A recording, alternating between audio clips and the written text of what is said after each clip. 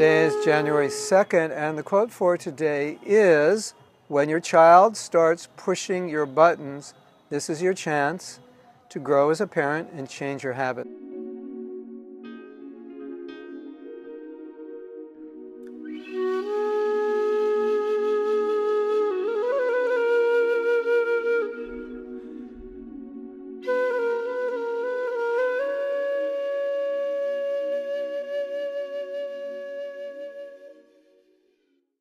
So, not all of you are parents, so let's apply this to the world in general. When anyone pushes your buttons, it's a chance to grow as a person.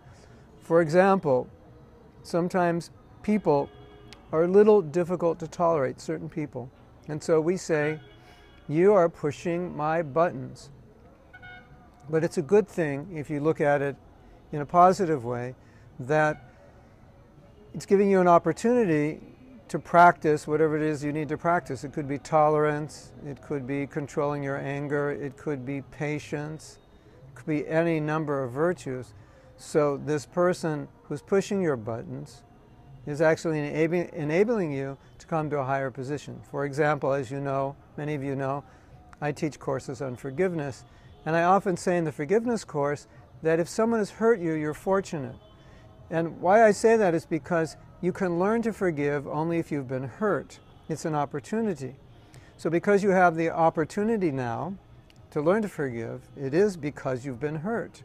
So, if you see it in a positive way, something bad happens, but now you think it's an opportunity to grow. So, now if you look at all situations in life, all your obstacles, all your difficulties, whatever you're facing, and you look at them as, as opportunities to grow, you won't see them in a negative way you'll see, okay, my child is pushing my buttons, my husband or wife is pushing my buttons, maybe my boss is pushing my buttons, maybe my temple president is pushing my buttons.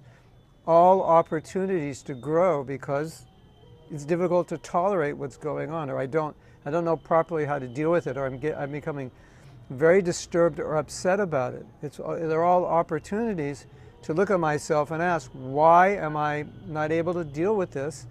And what can I do about it? What's what's going on with me that uh, I can't I can't really calmly, peacefully understand or deal with this person or situation. Rather than think what's wrong with them, why don't we think what's wrong with me and how can I adjust? It's um, it's a very useful tool with children. It's a very useful tool with spouses, but ultimately it's a it's a useful tool with anyone, and it's a tool that will will enable us to go through difficult situations and see how beneficial they are and often see how important it is for us to go through difficulties and, and to deal with difficult people because sometimes it's the only way we're going to grow.